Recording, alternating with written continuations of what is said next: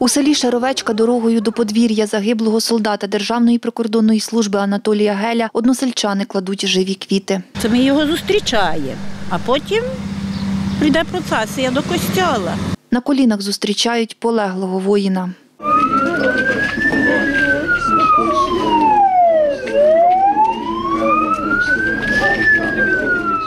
Попрощатися із Анатолієм до його дому прийшли друзі, сусіди та родичі. Одна з них, Ганна Суха, розповідає, Анатолій став на захист України весною цього року. Перед тим, каже, працював в охороні, загартовувався. Такий Водичкою обливався кожен ранок на турніку, він піднімався.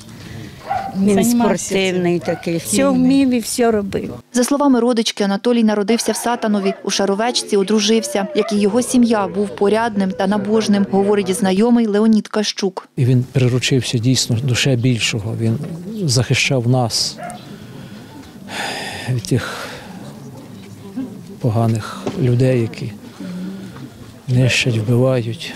Анатолію було 53. У нього залишилися мати, дружина та три доньки. Він був хорошим сім'янином, каже родич Болеслав Цебень. Обставин загибелі каже, не знає. Говорить ніби на Луганщині. Поховали загиблого українського воїна на кладовищі у селі Шаровечка.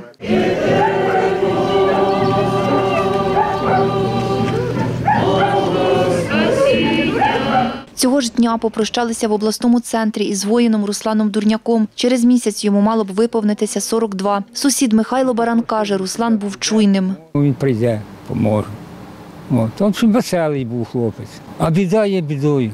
Любив село і був працьовитим, розповідає знайома Таміла Безуля. Живу в місті, а на вихідні, кожні вихідні село, робота. Мама тут жила, там бо жила бабуся. І вже й бабусі не стало, все одно їздив, допомагав, вирощував. Навчався, каже, на будівельника. Ним і працював перед тим, як піти захищати Україну. Повістку дали через тиждень, вже був у воєнкоматі. Рік провоював. Загинув Руслан, розповідає, на Куп'янському напрямку. У нього залишилися мати, сестра та племінники. Любив племінників, допомагав, балував вже відколи служив, то він їм старався все купити, бо своїх дітей не мав. Не жонатий був. Не, ж- не встиг, на жаль.